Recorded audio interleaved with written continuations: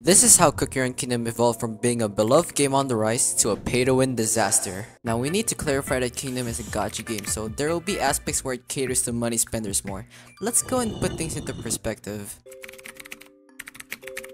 Do you recognize this image? It shows the trend results for Kingdom in the past two years, with this representing its peak and this being today. Let's keep these time periods in mind. Throughout the start until the end of its peak, which is around the Cacao update, there's only been 5 plus epic cookies, and they were being released every 2 to 3 months, Remember that for now. If you look at the previous 7 months of Kingdom from Moonlight update to today, there has been 5 Epic Plus cookies that have been released. And yes, there's one for every single update. Let's pay emphasis to these three especially. You might be familiar with things in gacha games called pity, right? It's where you're guaranteed to get something after pulling for a certain number of times. So if you don't get it on the 9th pull, the next will be the pity 4 star. That applies to Cookie Run Kingdom, well, it used to. In previous super epic banners, you have a guaranteed chance to obtain a set item needed after a certain number of pulls as shown here. But the recent super epic banners have changed so that you have to get them by building points to the pity counter by pulling. The higher the rarity, the more points. Basically, you're at the mercy of RNG. Now why the heck would they do such change? I have no clue. Assuming your luck is on the lower side,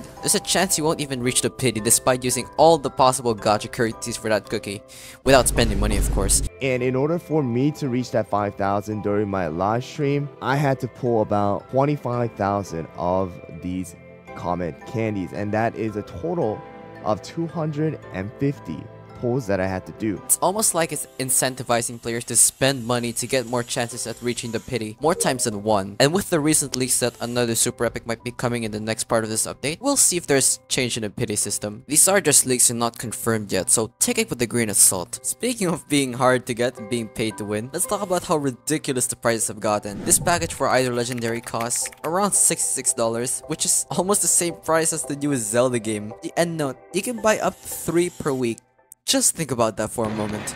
Kingdom today seems to give the bigger money spenders a much greater advantage than the free-to-play or even just light spenders. Napstation and Pitaya are good examples of this as they release back-to-back -back and both are in the same class, which combining the previous points makes it incredibly hard to save or build them up. Also not to mention, there's ascension buffs on the new crystal gems, and a good portion of the decorating aspect in Cookie Run Kingdoms locked behind paywalls. If even decorations are paywalled, what else is there that is paywalled? Why are we here? Huh? What was that sound? Ah, Snapdragon Cookie, this special cookie that came with a Pitaya update that everyone is calling pay to win. What makes them pay to win is the way to hatch them. You get 3 tries per day using purity crystals as a free to play, but if you want the Snapdragon jellies that grant a better chance, it's locked behind a paywall and the worst part is there is literally no other way to get it other than the shop. No events, no game modes, none of that. So if you're free to play, this option is practically useless to you. Now if we take a look at the left here, this is Snapdragon Cookie's pity system of sorts, where as you pull more, the chance of hatching the egg increases until you reach this milestone and get the pity. There's a chance of critical hits that increase the meter more, but as with all games that have crit, this depends on RNG. Unless you've spent a lot of time in this game and are also incredibly lucky, getting them at the highest ascension will take you so much time. After some time, you'll get bored and want to just take a break from the game because it's becoming repetitive and tedious, which segues us into the next part.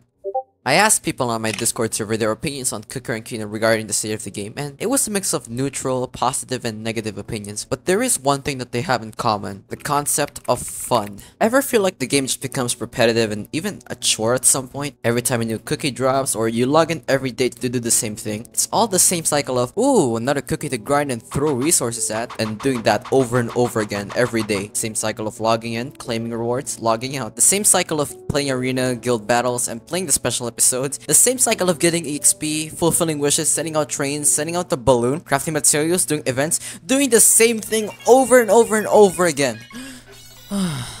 Sorry, I, I got a little carried away there.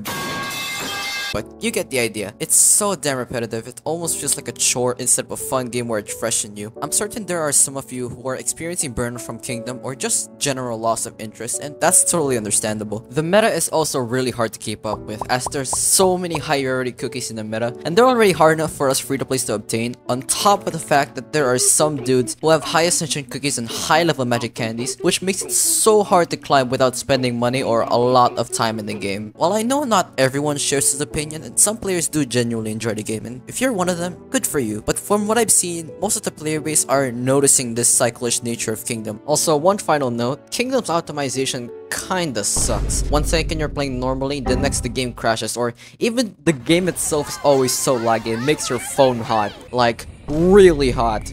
Yeah, that's the state of Run Kingdom for you. If you enjoyed the content, a sub would be gladly appreciated. My goal is to reach 10k, so every little bit of support is wonderful. If you want to see the video where I talk about Oven Smash and the status behind it, click over here on this video.